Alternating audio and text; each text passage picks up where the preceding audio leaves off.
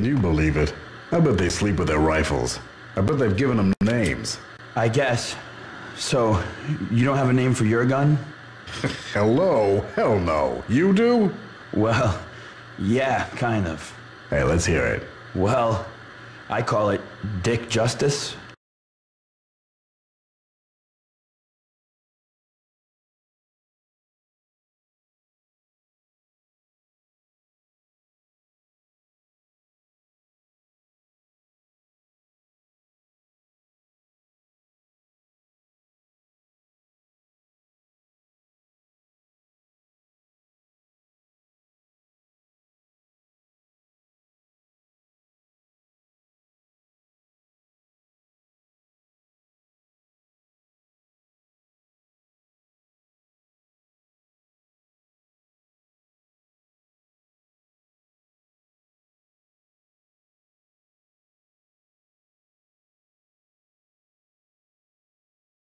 I rest my case.